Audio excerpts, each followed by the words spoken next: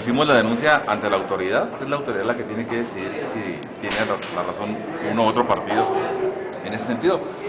Tenemos unas pruebas que las pusimos a consideración, ya veremos qué es lo que procede y si aplican o no para ser sancionado el señor Duarte. Con esta sería la cuarta denuncia, lo cual demuestra que a lo mejor está infringiendo bastante la ley. Bueno, eh, es una ley nueva, eh, sin embargo las conductas han sido muy claras en ese sentido.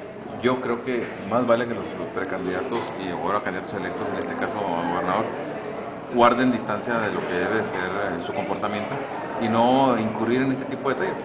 Estamos de alguna manera eh, echando a andar esta nueva ley y me parece que, bueno, quizás hay inocentadas, yo decía antier, no creo en las inocentadas de César Duarte, pero